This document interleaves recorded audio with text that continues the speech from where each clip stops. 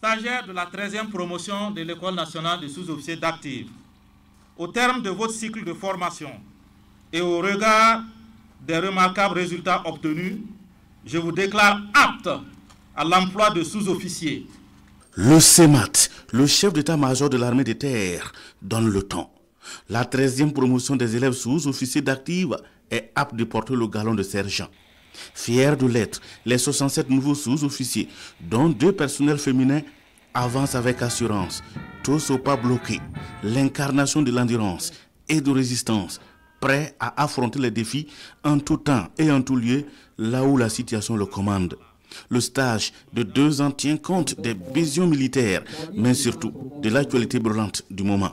Conscient de l'actualité nationale et sous-régionale, marquée par la recrudescence d'attaques des groupes armés terroristes et leurs divers modes d'action, le commandement, à travers l'encadrement de l'école, a mis l'accent sur la transmission de savoir, de savoir-être et de savoir-faire, des techniques et tactiques en phase avec les réalités du terrain.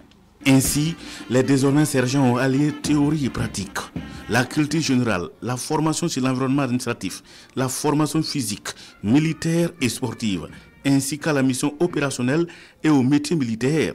Les sous-officiers sortants ont tout appris pour être de bons combattants.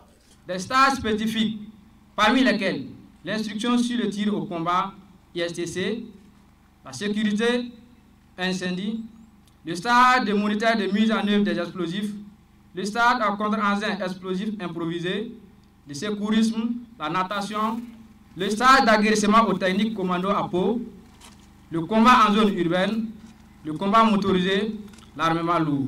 La promotion a pour parrain le colonel-major Jean-Baptiste Parkouda. Résilience comme nom de promotion. Le nom invite à faire sien l'amour de la patrie, le don de soi, pour venir à bout de la menace terroriste. La meilleure des postures à avoir face à cette menace, c'est donc de construire pour toute la nation un modèle de résilience, d'adaptation et de développement des capacités permettant euh, de mettre fin à cette violence terroriste.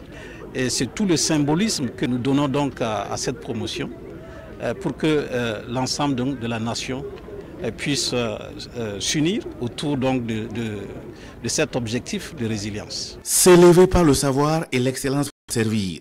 Telle est la devise de l'ENSOA que les sous-officiers de la 13e promotion comptent incarner tout au long de leur vie de militaire. Ils prennent ici et maintenant l'engagement de servir avec honneur, courage et dignité pour contribuer à libérer le peuple tourmenté et consoler les familles endeuillées.